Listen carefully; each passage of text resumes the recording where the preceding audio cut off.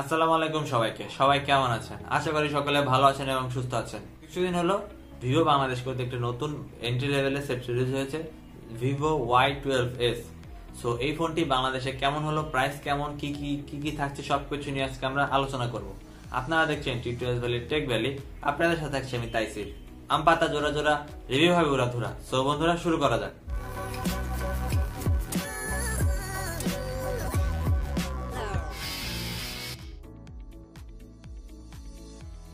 মূল ভিডিওটি শুরু করার আগে আপনারা যদি আমাদের চ্যানেলে নতুন হয়ে থাকেন, তবে এখন সাবস্ক্রাইব করে দিন এবং পাশে থাকা বেল আইকনটি বাজিয়ে অল করে দিন। এতে করে আমাদের চ্যানেলের সকল নোটিফিকেশন আপনাদের মোবাইলে পৌঁছে যাবে। তো বন্ধুরা ভিভো ওয়াই টুয়েলভ এস এই ফোনটি বাংলাদেশে তিন জিবি র্যাম বত্রিশ জিবি র্যামের সাথে রিলিজ হয়েছে।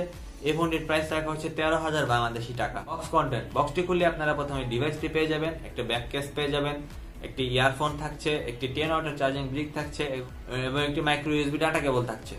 ডিজাইন এবং বিল্ড কোয়ালিটি সো ভিভোর ফোন সবসময় খুব কুল লুকিং ডিজাইন হয়, বিশেষ করে ওয়াই টুয়েলভ এর ডিজাইনটা অনেকটাই সুন্দর। ব্যাকে প্লাস্টিক থাকছে যদিও ফ্রন্টে কর্নিগুলার সেল প্রোটেকশন থাকছে ভি শেপ নস থাকছে, আমার মনে হয় চিনটা অনেকটাই বেশি পার্সোনালি মনে হয়েছে। প্লাস্টিকের ফ্রেমটাও প্লাস্টিকের বাট যে ব্যাকে যে প্লাস্টিক খুবই প্রিমিয়াম লেভেলের লুক দেয়, একদমই গ্লোসি ফিনিশিং এর সাথে আসছে।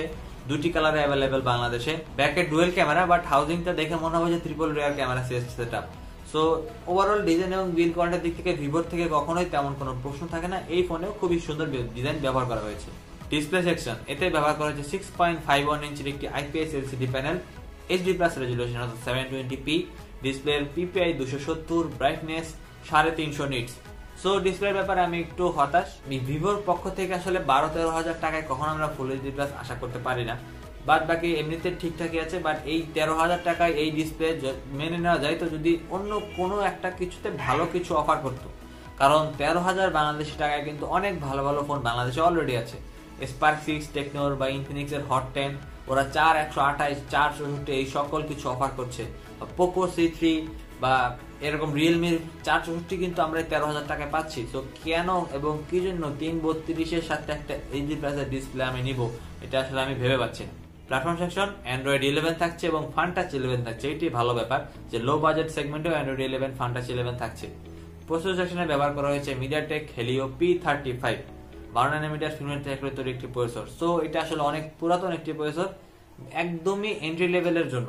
দশ হাজার টাকা বাজেট পর্যন্ত আমার মনে হয় প্রসেসরটা ঠিকঠাক ছিল বাট দশ হাজার বাজেট বাংলাদেশে ক্রস করার পরে পি থার্টি ফাইভ আসলে আপনারা ডেলি টাস্কিং করতে পারবেন মাল্টি টাস্কিং করতে পারবেন, বা গেমিং টেমিং একদম লো লেভেলের গেমিং করতে পারবেন মিডিয়াম গেমাররা ওইটার কথা ভুলে যান। সো আমি আসলে পি থার্টি ফাইভ এর কোনো নেওয়ার যুক্ত কথা বুঝলাম না, তিন বত্রিশের সাথে। যদি এতে র্যাম রমও বেশি তো তাইলেও এটা মানা যেত সো যেহেতু র্যাম রম বেশি দেন নাই, অন্তত জি সেভেন্টি দিতে তাইলেও এটা একটা ছিল ব্যালেন্স হতো বাট বাকি আমি আসলে বুঝতেছি না যে কেমন স্পেসিফিকেশনের সাথে এই ফোনটি আসলে রিলিজ হচ্ছে।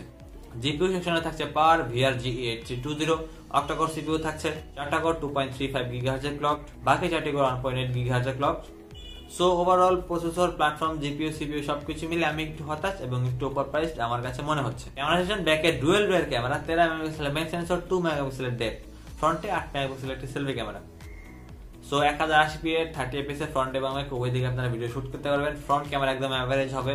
ব্যাক ক্যামেরা ঠিকঠাক আছে বাট প্রাইস অনুপাতে যায় না। দশ, এগারো হাজার টাকা প্রাইস সেগমেন্টের মধ্যে ক্যামেরা সেট এতে ব্যবহার করা হয়েছে। সো ক্যামেরা দিক থেকেও আমি খুব একটা খুশি না।